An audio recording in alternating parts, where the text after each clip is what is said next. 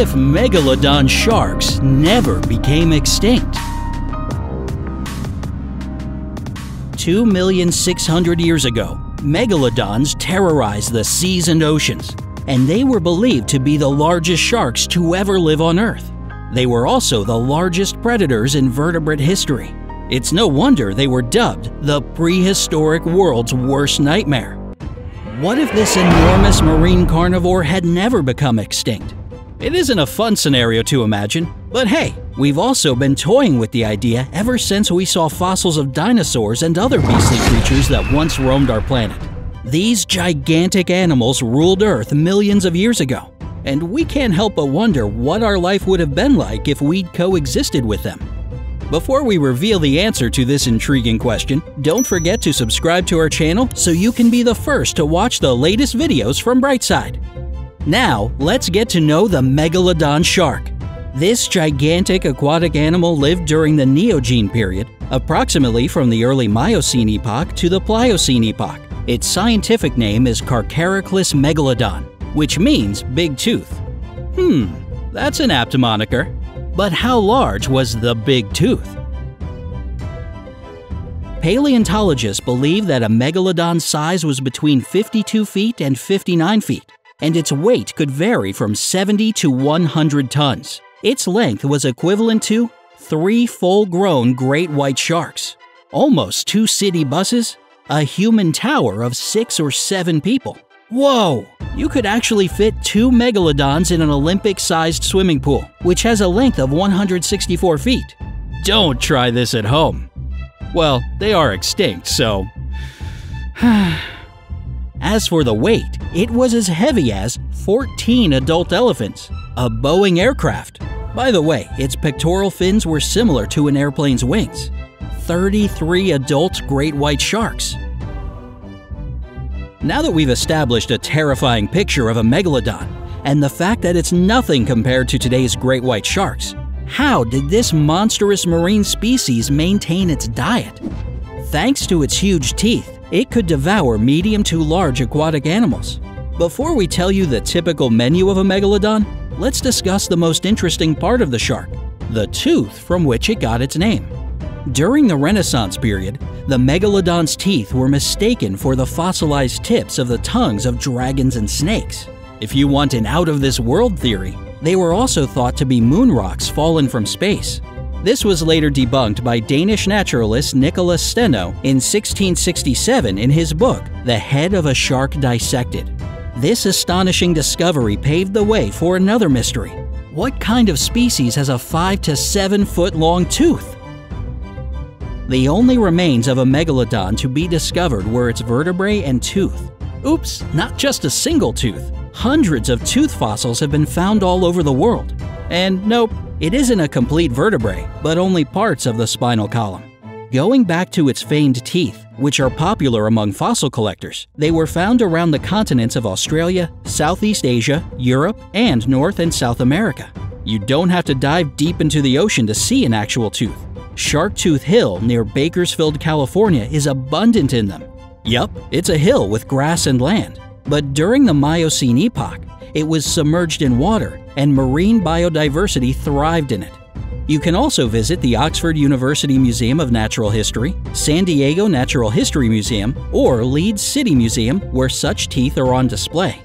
That's much easier than digging through dirt, yet way less thrilling. How did the experts calculate the megalodon size based on its teeth alone? Ichthyologist John E. Randall used the ratios of the largest upper teeth, the jaw height, and the tooth enamel height of a white shark as a model.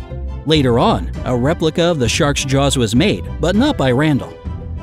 The ancient shark's jaw width was about 6 feet to 7 feet, with a total of 276 teeth in 5 rows, looking a bit like a conveyor belt. Its bite force was 24,400 to 41,000 pounds, this is 6 to 10 times stronger than a white shark and 2 to 3 times that of a T Rex.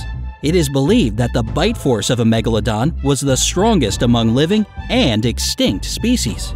An enormous marine creature with a powerful bite can have almost anything on its dinner plate, but its favorite meal was whales, particularly baleen whales. If it wasn't in the mood for a whale as a main course, it feasted on sea cows, dolphins, porpoises, seals, sea lions, and other large sea animals. Its attacks on its prey were savage, but what do you expect from the scariest vertebrate of all time? The megalodon immediately clamped its teeth onto the body of its prey, which resulted in pulverized ribs and a ruptured heart and lungs. The second attack method of the megalodon was to rip its prey's fins to immobilize it before chow time. Megalodons came from the prehistoric shark Nematodus, which was unrelated to great white sharks. Ancient white sharks, however, existed at the same time as megalodons, but they were never lunch buddies because white sharks prefer cool areas. Megalodons only swam in warm, shallow seas. The fussiness of the big tooth could be a possible reason for its downfall as Earth was about to enter the Ice Age. But what are the main reasons for the extinction of this great predator? There are three theories that have divided experts through the years.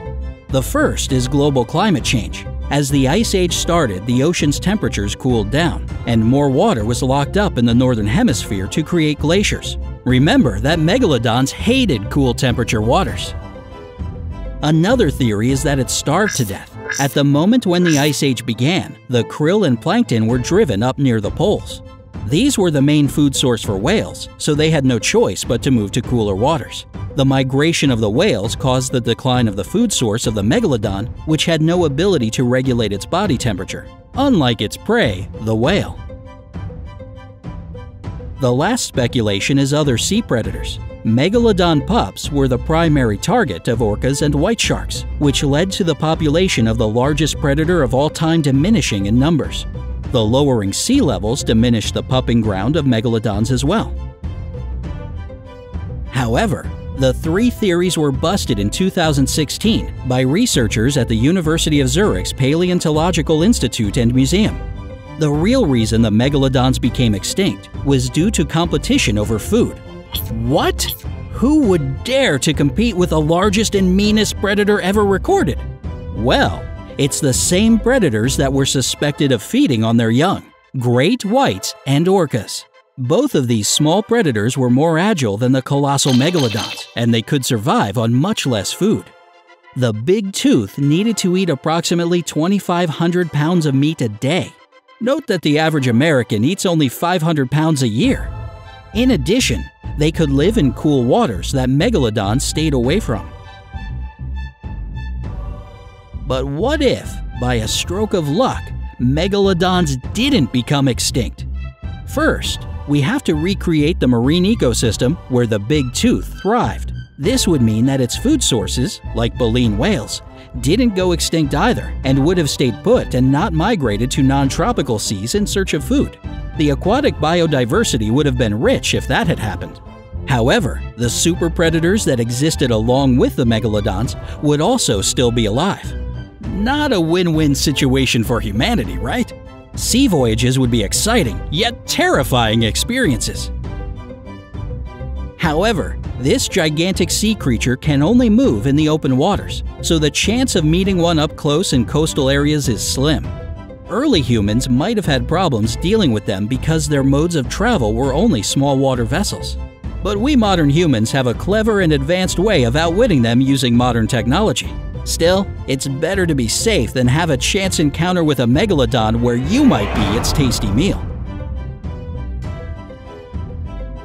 Throughout history, it isn't only megalodons that have caused terror on Earth. They're undoubtedly the largest, but here are the runners-up. The Aegirocassis benmoulai existed 480 million years ago. It seems to be a crossbreed of a whale and a lobster, but it belongs to the arthropod family. Therefore, it could have been a distant cousin of a lobster. It was 6 feet 6 inches long and gobbled up planktons. The Sarcosuchus imperator could grow up to 39 feet and weigh 8 tons. It was also known as super croc, but wasn't an ancestor of modern crocodiles. It was more closely related to alligators. The Megatherium americanum was a giant ground sloth that was about 20 feet long. This oversized sloth had long arms and killer claws. Megatherium lived around 5 million to 11,000 years ago, and it wasn't a herbivore in nature, unlike its descendant today, as it was believed to eat meat. The Titanis walleri, or terror bird, was a flightless bird 10 feet tall with a long neck and robust pair of legs. It could run at 50 kilometers per hour. The terror bird lived around 60 to 2 million years ago. At 48 feet long, the Titanoboa cerrejonensis was a distant relative of the anaconda and boa constrictor. We will not raise any hypothetical questions today. Instead, we are glad that these dangerous and massive animals became extinct before our time. We would surely see a case of survival of the fittest or a return to hunter mode if they still roamed the earth. If this huge shark didn't become extinct, what would you do if you met one while you were on your way to the Bahamas? Share your fun speculations in the comments. And always stay tuned for more jaw dropping videos by joining us on the bright side of life.